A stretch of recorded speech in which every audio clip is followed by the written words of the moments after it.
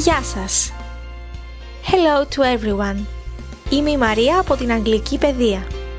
Σε αυτό το βίντεο θα μάθουμε το ρήμα είμαι, the verb to be. Θα ξεκινήσουμε με την κατάφαση. Affirmation Εγώ είμαι I am Εσύ είσαι You are Αυτός, αυτή, αυτό είναι He, she, it is. Αυτό το σχέδιο το κάνουμε διότι βλέπουμε ότι και, στα, και στις τρεις προσωπικές αντωνυμίες he, she, it το ρήμα είναι is. Αυτός, αυτή, αυτό είναι. Εμείς είμαστε, εσείς είστε, αυτοί είναι. Με τον ίδιο τρόπο δείχνουμε λοιπόν και εδώ πως σχηματίζεται το ρήμα.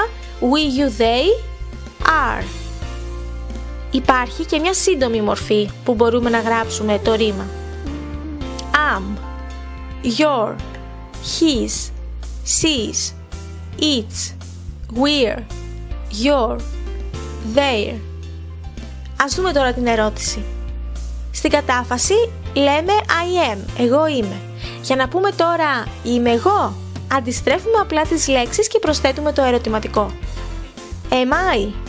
Οπότε Am I? Are you? Is he? Is she? Is it? Are we? Are you? Are they? Προχωράμε στην άρνηση.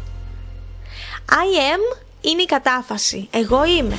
Για να πούμε εγώ δεν είμαι, προσθέτουμε απλά τη λέξη not. I am not. Εγώ δεν είμαι. I am not. You're not. He is not. She is not. It is not. We are not. You are not, they are not. Πάμε να δούμε τη σύντομη μορφή. I'm not, you aren't, he isn't, she isn't, it isn't, we aren't, you aren't, they aren't. Τώρα θα δούμε ένα παράδειγμα. Αυτός είναι ο Τόμ και αυτή είναι η Άννα. How are you, Anna? Are you sad? Πώς είσαι, Άννα? Είσαι λυπημένη? I'm happy. I'm not sad. Είμαι χαρούμενη, δεν είμαι λυπημένη. Για ασκήσεις εμπέδωσης, ακολουθήστε το σύνδεσμο που θα βρείτε στην περιγραφή αυτού του βίντεο.